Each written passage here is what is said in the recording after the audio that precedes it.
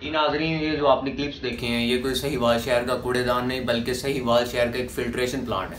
बात यहीं पे ख़त्म नहीं होती कि आप यहाँ पे कूड़े में आए और कूड़ेदान में जो है ना एक कूड़ा फेंक कर आप अपने घर को रवाना हो जाए। वहाँ पर आपको एक मिनट लगता है, लेकिन यहाँ पर आपको पानी भरने के लिए कम अज़ कम डेढ़ से दो घंटे जो है ना, कम अज़ कम भी आपको जो है ना रिक्वायर्ड होते हैं। सही वाल इंतज़ामिया की नाहली का सबूत यही है कि वो ना यहाँ पर सफ़ाई करवाती हैं, ना इसका प्रेशर ठीक करवा रही हैं। अवाम ने कई दफ़ा जो है दरख्वास्त दी है, सही वाल इंतज़ामिया को, दिए गए हुए नंबर पर, लेकिन कोई रिस्पॉन्स नहीं है। लोगों ने जाकर वहाँ पर एप्लीकेशन जमा करवाई कि काइंडली जो है ना इसका प्रेशर को ठीक किया जाए और कोई सफ़ाई के इंतज़ाम किए जाएँ। लेकिन वो अपनी हट दरमी पर जो है ना बरकरार है। अफसरान खुद को पता नहीं क्या समझना स्टार्ट हो चुके हैं। अगर यही अफसरान एक घंटे का दौरा नहीं कर सकते सही वाले इंतजामिया के, और यही अवाम जो है पानी भरने के लिए जो है डेढ़ घंटे के लिए जो है वहाँ पर इंतज़ार कर रहे होते हैं। तो मेरे डी साहब से गुजारिश है कि काइंडली जो है ना इस पर थोड़ी सी जो है ना, नज़र गर्म करें और आवाम के लिए जो है ना, थोड़ा सा जो है आसानियाँ पैदा करें, क्योंकि एक आवाम डेढ़ घंटा किस तरह जो है अपना निकाले एक सिर्फ़ पानी की बोतल भरने के लिए।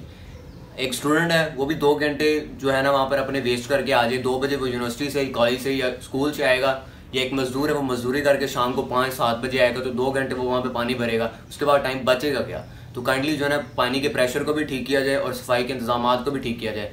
फिल्ट्रेशन प्लांट के इसका मतलब कोई हमें फ़ायदा नहीं अगर वहाँ पे सफ़ाई के इंतज़ाम नहीं है। वो तो यही सीन होगा कि हम किसी नलके से जो है पानी भर के जो है पी लें। तो काइंडली जो है ना, इसी तरह आप हमें ट्रीट करें जैसे आप खुद को ट्रीट करते हैं। काइंडली जो है वीडियो को ज़्यादा से ज़्यादा शेयर करें ताकि जो है ना आला अफसरान तक ये वीडियो पहुँचे और उनके जो है ना कानों पे कोई जूँ रिंगे और आवाम के लिए कोई ना कोई फ़ायदा हो। तो मिलेंगे फिर आपको नेक्स्ट वीडियो में, तब तक के लिए अल्लाह हाफिज़।